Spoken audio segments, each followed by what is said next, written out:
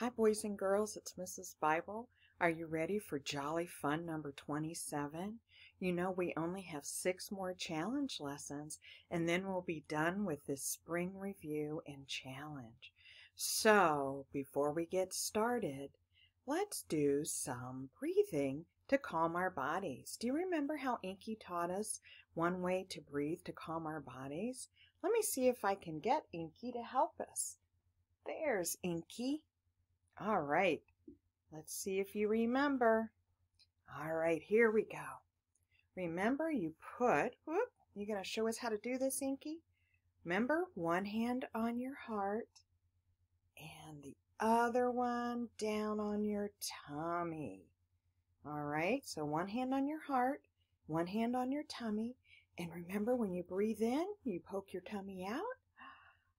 And when you breathe out, you pull your tummy in. Let's do that again. One more.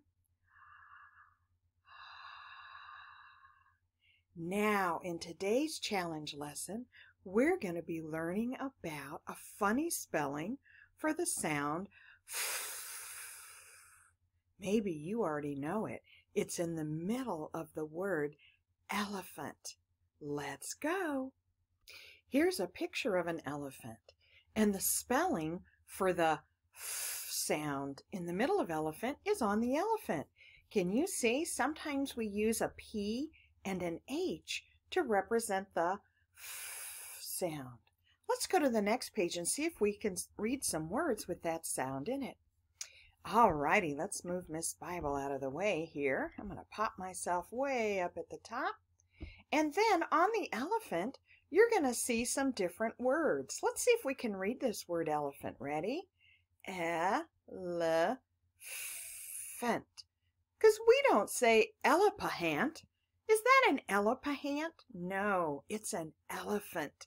So when we see that PH, boys and girls, we need to remember to read it as all right, let's see if there are some more words we can read with that funny spelling for f, which is ph. Are you ready? Let's see if we can read the next one. Whoa, let's try this word. Ready? D, all, fin. What's the word? Dolphin. And again, what two letters are making that f sound? The P and the H. That's right. All righty, let's erase that and let's go to our next word. Let's see if we can read it. Are you ready? G, r, gr, a, paha? Is this grandpa? No. Remember, P and H together make the f sound. So let's try to read it. Ready? Graph graph, like a graph you might make in math class. All right, whoa, let's erase our little sound, move it over underneath of our PH, which is making our sound. This is like a 10th grade word, boys and girls. Let's see if you can try and read it. Ready? Mm, it looks like mm, ikra, mikra, but I happen to know this is a bit of a tricky word, and this I is actually a long I. So let's try that. Mic, micra, micra, looks like micra, micra, own. Did you get it? M I cra own microphone. Wow, what a giant word that is. All right, here's our next one. Let's erase this guy. Let's mark that pH. Ready? Here we go. Let's try to read this word. Phantom. Phantom. Do you know what a phantom is, boys and girls? Phantom is like another word for ghost, okay? Phantom. Ooh, let's fix that. We'll make that a little longer. I think you can read this one. It looks like ata fata. But when you have a camera or you have a smartphone, do you take a fata of somebody or do you take a photo? Yes, this is a bit of a tricky word. Photo.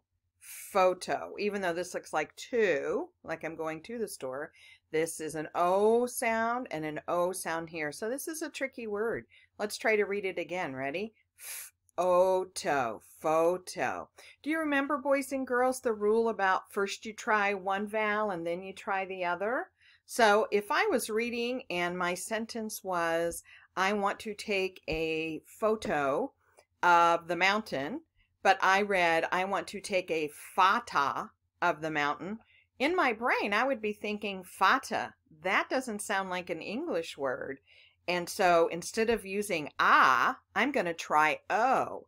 And if I try o, then I can read the word photo. So remember that rule. First try the short vowel and if that doesn't make sense, then flip it to the long vowel, okay? First the short vowel, then flip it to the long vowel. And that might help you make sense of what you're reading. Whoa, here's a giant word. Let's get rid of our line here. And let's underline our sound. All right, let's see. This is a musical instrument. I'm going to give you a hint. Let's see if we can figure it out ax, sax, ah, own, saxophone, a saxophone.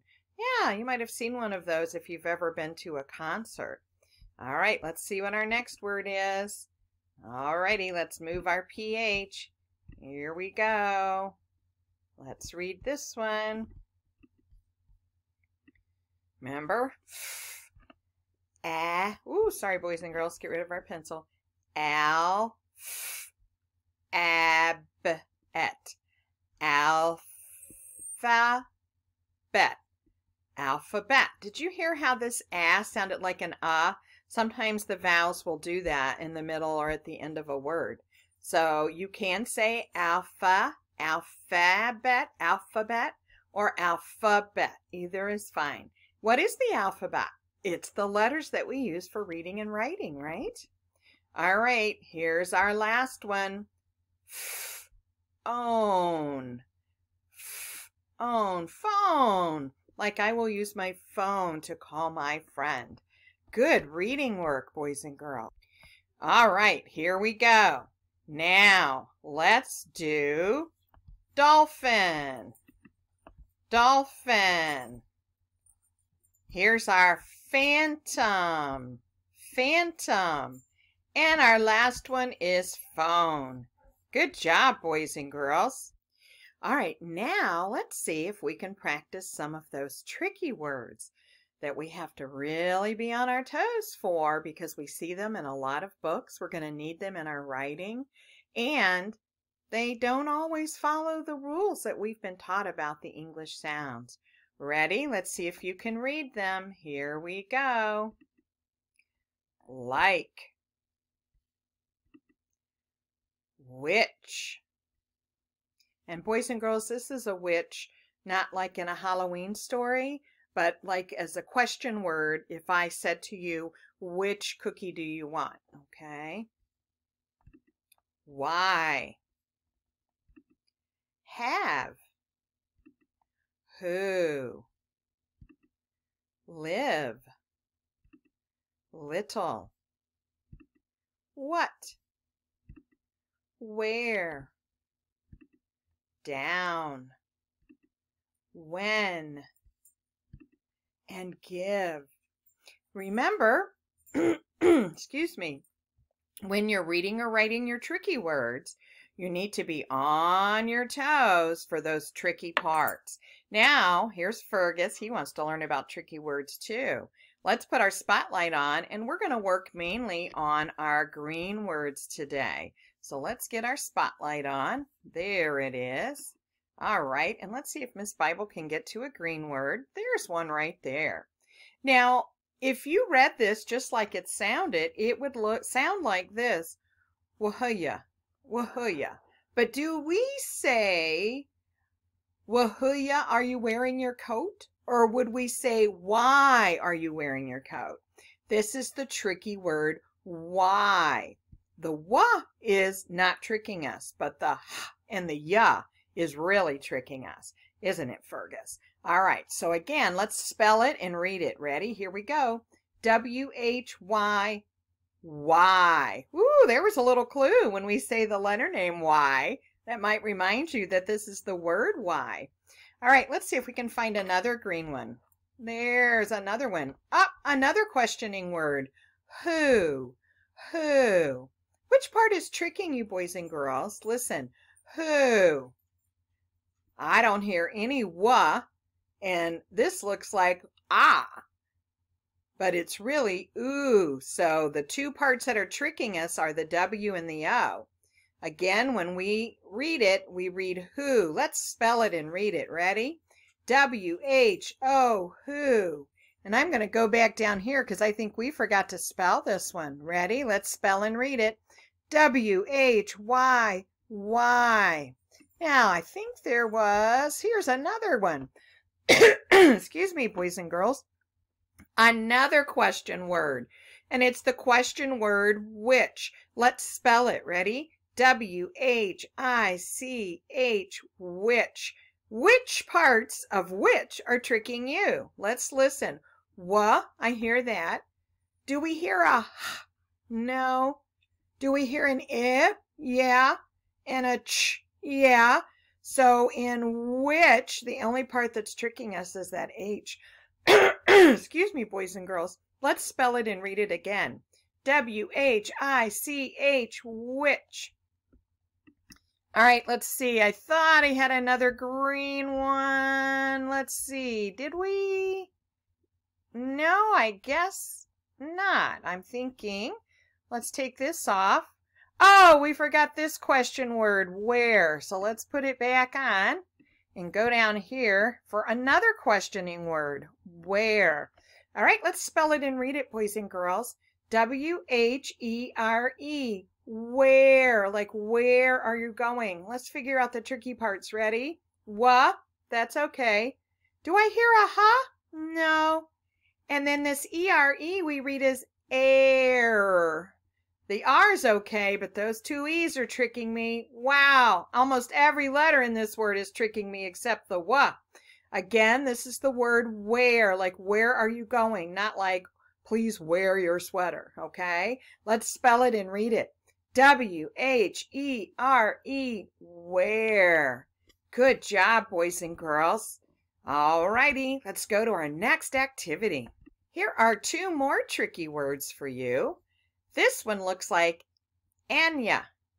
But would I say, do you have Anya crayons I could borrow? No. I would say, do you have any crayons I could borrow? So let's spell and read this word any. Ready? A-N-Y, any. Now, if you know any, then you know this other tricky word, many. Yes, we just put a m in the front. Many. Do you have any crayons? Yes, I have many. Now, before we leave today, let's see if we can rate some of those words that we were working with that have the f sound spelled with a PH. All right, let's see if you can figure out what two words I'm thinking of here. I took a hmm of an hmm. Now, if I told you this was a story about animals I took a picture of, Hmm. And that I took, instead of a picture, I'm going to use the word photo. Let's see if we could spell photo. Ready? See if you can spell it with me. Remember, it sounds like a f, but we're going to start with our PH. I took a photo. I took a photo of an what? Hmm.